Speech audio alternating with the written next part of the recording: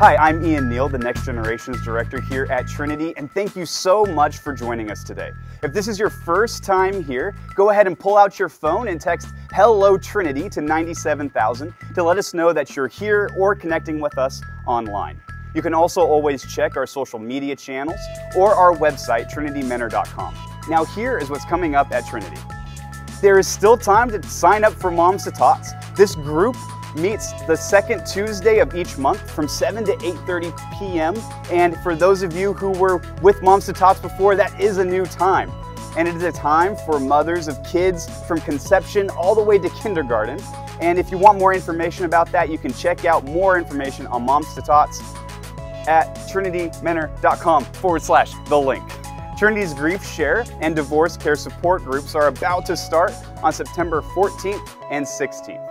If you or someone you know has experienced a loss or the pain of divorce, please check out more information at trinitymentor.com forward slash grief share or forward slash divorce care to learn more and register today.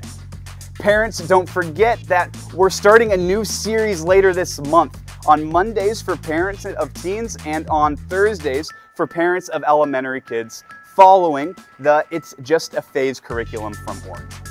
This small group series helps us uh, as parents meet our children where they are right now. You can visit the link online to sign up for that as well.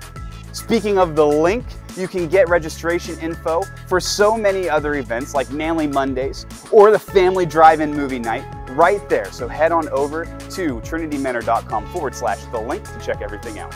And that's this week at Trinity. Thanks for being with us today.